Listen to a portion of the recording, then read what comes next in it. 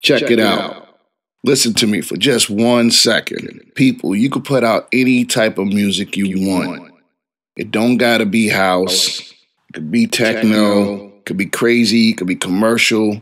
It's not selling out. You don't gotta keep it real. If you keep it real, you're gonna be real broke. This is why I put together studio sessions. I'm putting out my music and your music. We're putting out everything. Studio sessions is everything. You hear me? We're gonna put out everything. All types of music rap, funk, soul, house, techno, trance, everything. That's what it's for. Check, it out.